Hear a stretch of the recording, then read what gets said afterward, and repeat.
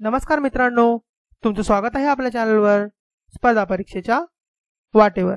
तर मित्रांनो आज आपण पाहणार आहोत इतिहास या विषयातील काही महत्त्वाचे प्रश्न. ठीक आहे? तर चला पाहूयात.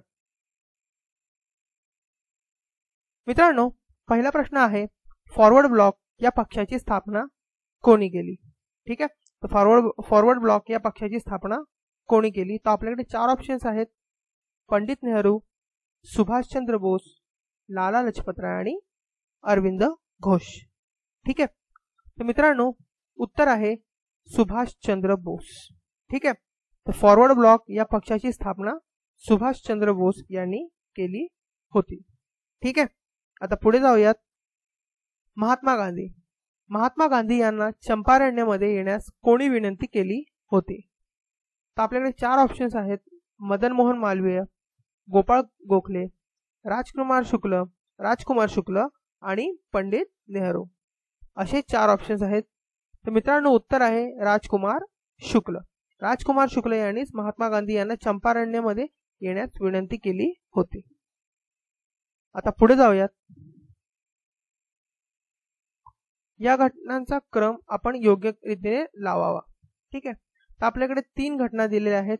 चंपारण्याचा सत्याग्रह बंगालची फाळणी आणि सायमन कमिशन.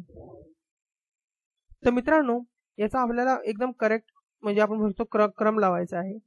तर पाहायला गेलो तर बघा आपण जर इयरली म्हणजेच वा त्यांच्या वर्षानुसार जर लावायला गेलो तर आपल्याला खूप सोपं पडेल.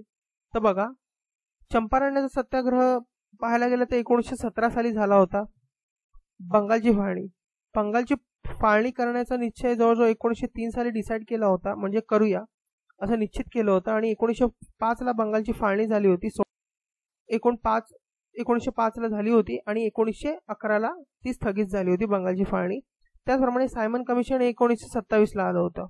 तर मित्रांनो जर आपण क्रम लावला तर प्रथम बंगालची फाळणी आली पाहिजे एकोणीसशे पाच. दुसरं चंपारण्याचा सत्याग्रह एकोणीसशे सतरा. आणि तिसरा म्हणजे सायमन कमिशन. तर उत्तर आहे बी ए आणि सी. ठीक आहे? तर या घटनांचा आपण योग्य क्रम लावलेला आहे. आता पुढे जाऊया. फादर ऑफ इंडियन अनरेस्ट असं कोणाला म्हटलं जातं? तर मित्रांनो आपल्याकडे चार ऑप्शन आहेत. वीर सावरकर म्हणजे स्वातंत्र्यवीर सावरकर पंडित नेहरू लोकमान्य टिळक आणि सुभाषचंद्र बोस. ठीक आहे? तर फादर ऑफ इंडियन अनरेस्ट ठीक आहे? तर कोणाला म्हटलं गेलंय? तर लोकमान्य टिळक यांना फादर ऑफ इंडियन अनरेस्ट असं म्हटलं गेलंय. तर हे कोणी त्यांना म्हटलंय? तर व्हॅलेंटाईन शिरोल यांनी असं फादर ऑफ इंडियन अनलिस्ट असं लोकमान्य यांना संबोधलं आहे. आता पुढे जाऊया. हा शेवटचा प्रश्न. तिन्ही पण गोलमेज परिषदेमध्ये भाग घेणारा व्यक्ती. ठीक आहे? तर आपल्याकडे चार ऑप्शन्स आहेत. डॉक्टर बाबासाहेब आंबेडकर पंडित नेहरू मदन मोहन मालवीय आणि महात्मा गांधीजी. जसं की डॉक्टर बाबासाहेब आंबेडकर यांनी तिन्ही पण गोलमेज परिषदेमध्ये आपली उपस्थिती नोंदवली होती. ठीक आहे? तर असे आपण पाच प्रश्न महत्त्वाचे पाहून घेतले आहेत. मित्रांनो व्हिडिओ पाहिल्याबद्दल धन्यवाद. व्हिडिओ आवडला असेल तर नक्की लाईक करा शेअर करा आणि आपलं चॅनल स्पर्धा परीक्षेच्या वाटेवर सबस्क्राईब करा. मित्रांनो व्हिडिओ पाहिल्याबद्दल धन्यवाद.